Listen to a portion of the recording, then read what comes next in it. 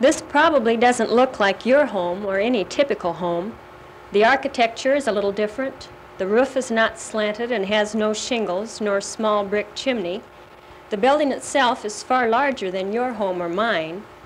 There are many more windows and doors and floors.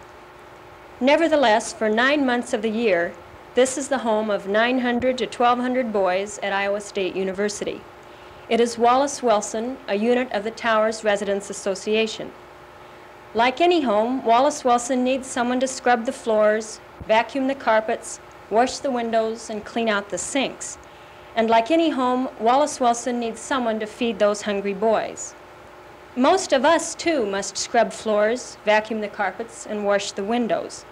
But we spend the majority of our day in the kitchen, planning and preparing three meals a day for our family of four or six, or maybe even 10 or 11. We shop for groceries, set the table before the meal, and clean up our kitchen after one. We make sure the right condiments are out at each meal. And if you're like me, you get tired of that kitchen work sometimes, even if you're only feeding three or four or 10 or 11. Today I hope to make our kitchen work seem lighter. Our preparation for a meal starts with a sack or two of groceries. At Wallace Wilson, the foodstuffs come by the truckloads and are put on that ramp. You and I get up early to get breakfast for our families. These cooks are in the kitchen at 5 o'clock each morning. Today they used 90 dozen eggs and 30 pounds of bacon. It took 9 to 12 pounds of oats for the oatmeal, and this is about what it takes no matter what hot cereal is used.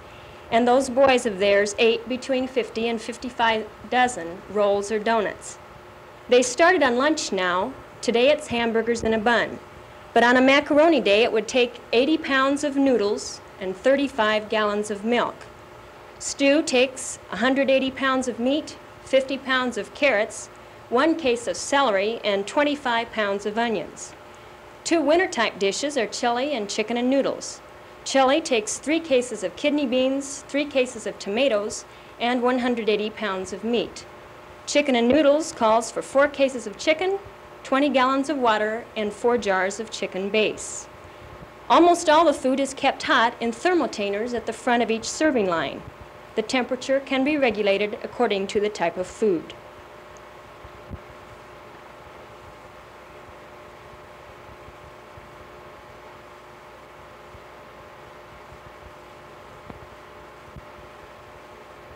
Although soup is a well-liked addition to many meals, often instead there is a vegetable. The amount for this varies. For example, 160 pounds of peas is enough, but it takes 200 pounds of corn. Some vegetables, as any woman knows, are not eaten as quickly as others.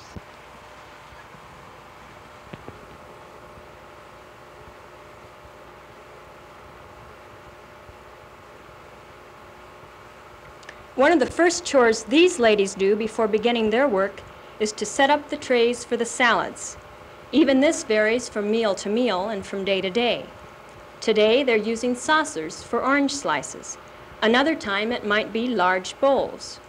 For applesauce, they'd use small bowls. To make that salad, they would need 24 number 10 cans of applesauce, plus any spices they might add, like cinnamon. At times, the applesauce is heated for a special taste. Helen, June, and Mary often make jello and fruit cocktail. It takes 4 gallons of jello, 16 gallons of water, and 12 number 10 cans of fruit cocktail. The jello is usually garnished with endive or lettuce. That dish would feed about 800. For a lettuce salad in a large bowl, they need two cases of lettuce. Dressings offered vary from blue cheese to French to creamy Italian to Thousand Island, and usually there are three or four kinds to choose from.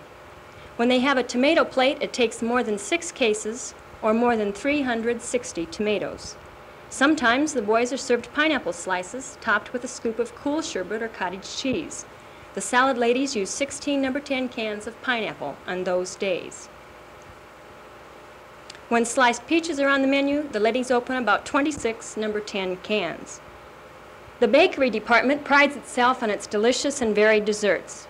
To make today's pie crust, Donna and Virginia needed 45 pounds of flour, 30 pounds of shortening, one and a half gallons of water, and one and a half cups of salt. The filling took 15 gallons of milk, 15 cups of cornstarch, 22 cups of flour, 3 and 3 quarters gallons of sugar, 10 tablespoons of salt, 30 cups of eggs, and 2 cups of vanilla. A pumpkin pie filling calls for 160 eggs, 10 number 10 cans of pumpkin, 30 pounds of flour, 8 and a quarter gallons of evaporated milk, plus a cup or so of ginger, cloves, and cinnamon. Rolls, a kind of special treat, need 2 gallons of water, 2 pounds of yeast, 44 eggs, 44 pounds of roll mix, and 3 quarts of water. Chocolate cake is another popular dessert. Donna and Virginia need 11 pounds of shortening, 28 pounds of sugar, 128 eggs, 16 cups of water, 2 gallons of milk, about 21 tablespoons of vanilla, 16 tablespoons each of baking soda, salt, and powder, 21 pounds of cake flour, and the chocolate.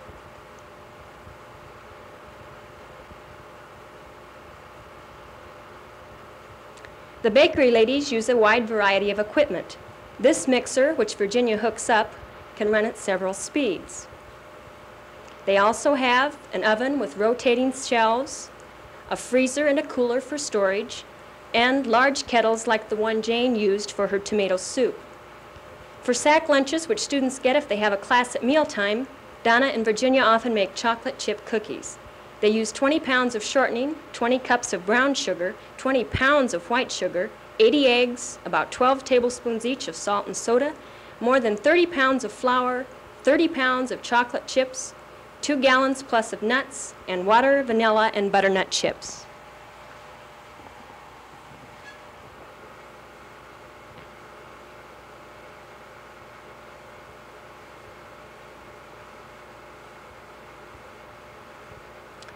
Margaret doesn't get in on food preparation, except on the Sundays she works.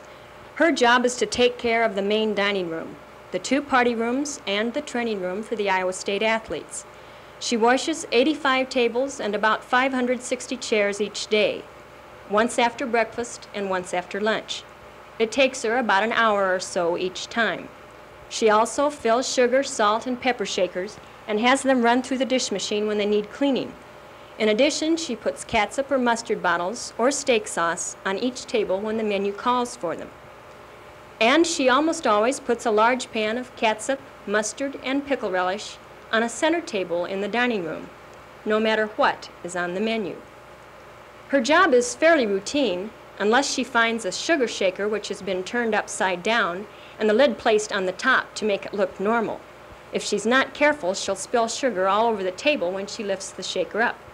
Sometimes she'll spot a glass stuck to the bottom of the table with a butter patty, and she'll have to catch it before it falls. While Margaret cleans up the dining hall, Ox finishes up the dishes which were left from the previous meal. During mealtime, the dish machine line is manned primarily by student help. Cups, glasses, plates, saucers, large and small bowls, silverware, and trays are sorted as they come through on the conveyor belt. Although Ox loads and unloads the machine himself here, at busy times, several sort, several load the machine, and several unload. From conveyor belt to dish machine to storage rack takes only a few seconds, and the dishes are scalded and dried and ready to go at the next meal.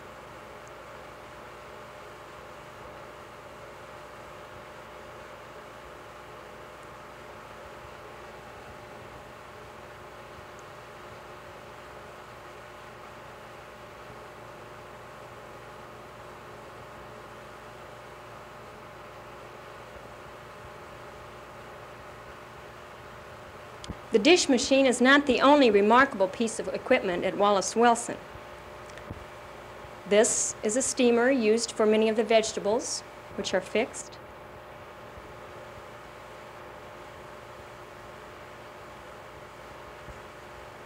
The quantity of serving utensils in itself is something to see. These spoons are used to serve vegetables on the line. Scoops are used not only to dish sherbet and ice cream, but for mashed potatoes, Maid-Rite hamburgers, and potato salad. Ladles in the smaller size, like the one Marilyn finds, are used to serve catsup, mustard, and relishes on the center table in the main dining hall. And of course, this kitchen has its shelves of pots and pans, and pitchers, measuring cups, and measuring gallons, two inch pans, four inch pans, cereal containers, strainers. After seeing all this, doesn't your day seem brighter?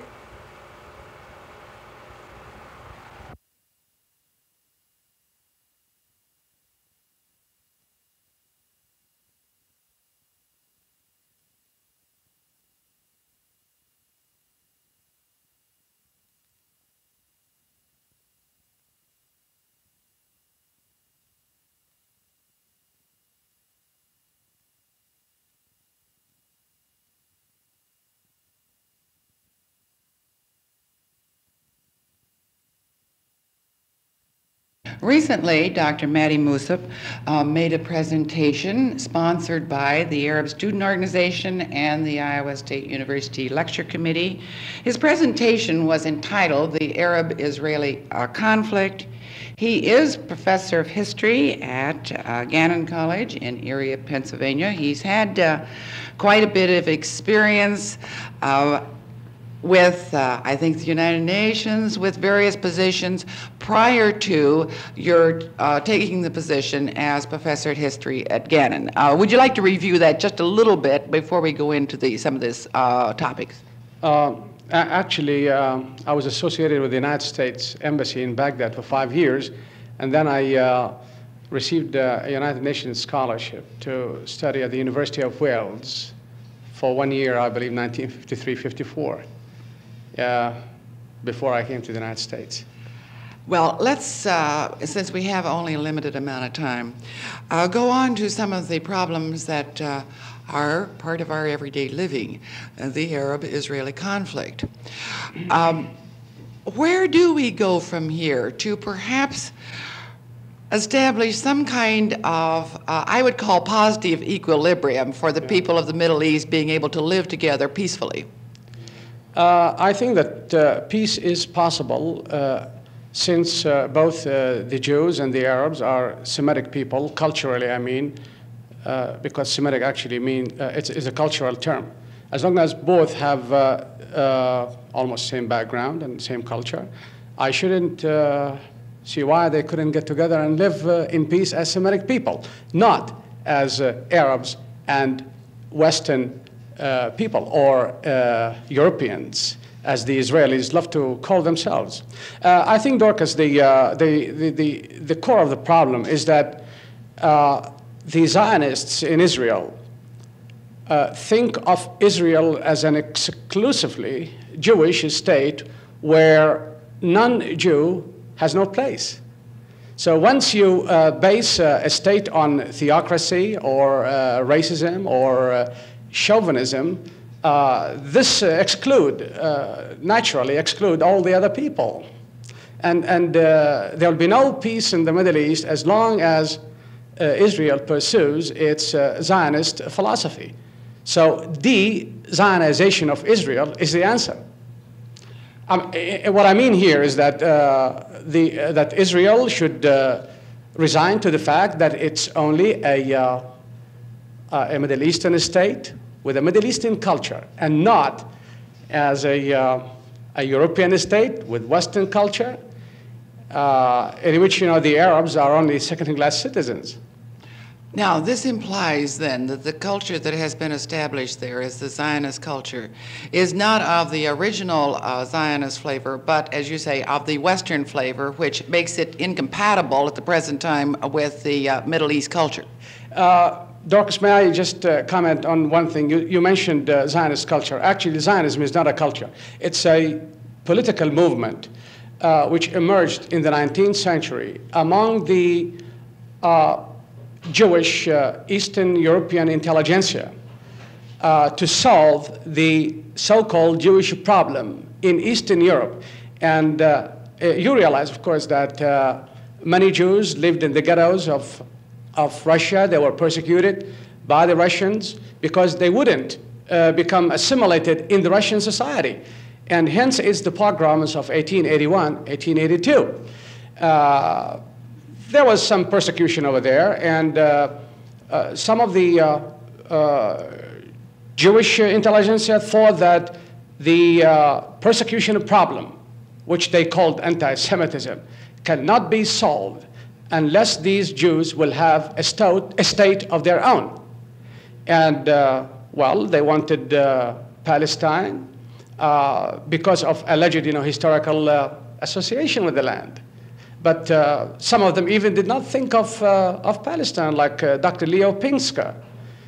he did not care whether it is Palestine or anywhere else, as long as he could, uh, the Jews could uh, establish a state in which to get rid of these uh, Gentile persecution.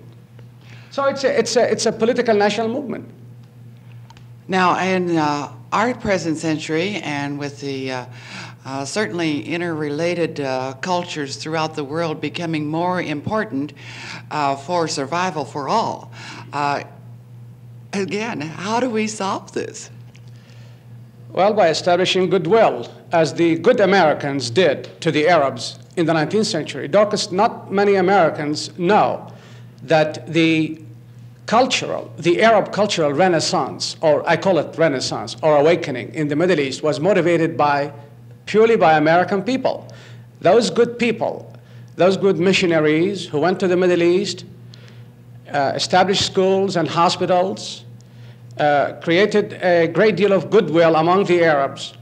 The result of their labor was the American University of Beirut, the uh, American University of Cairo, Robert College in Istanbul, and many, many uh, uh, American schools. My sister, right now, is a teacher in Baghdad in the American School for Girls. Now, America has had strong, you know, cultural relations with the with the Arab world. It has established uh, goodwill among the Arabs. I don't see why uh, America shouldn't, you know, uh, reestablish its cultural relations with the Arabs and help them without cutting its relation with Israel. As I mentioned uh, to you on your radio uh, show, that uh, the Arabs really are not saying that the United States should turn its back, you know, to Israel and favor the Arabs. The Arabs are saying that the United States should not completely identify itself with Israel and favors Israel at the expense of the Arabs. That is injustice. Now, so you think the climate is such that uh, overtures by the United States to uh, give uh, the help that is needed uh, would be accepted? Uh, yes, it would. I think the first step right now for the United States to do or to take is to establish, to re-establish its relations with Egypt. Because I am positive that there's no one in the Middle East today, and among all of the Arab leaders, who aspires to re-establish relations with the United States uh, like Nasser. President Nasser really wants to establish uh, relations with the United States. But as I told you before, that uh, the, the, the, makers of uh, foreign policy in Washington are pressured too much by pressure groups here, mainly Jewish group, Jewish pressure group. And uh, in that sense, uh, they cannot really come up with any viable uh, uh foreign policy which would uh, establish goodwill with the Arab states. And I wish we had longer, but we do not. All right. I'm sorry. No. Our guest is Dr. Mady Musa, who is a professor of history at Gannon College in uh, Erie, Pennsylvania. He made a presentation entitled The Arab Israeli Conflict. Uh, for the audience at Iowa State, this was sponsored by the Arab Student Organization and the Iowa State University Lecture Committee. And thank you very, very much. Thank you very much, Dorcas.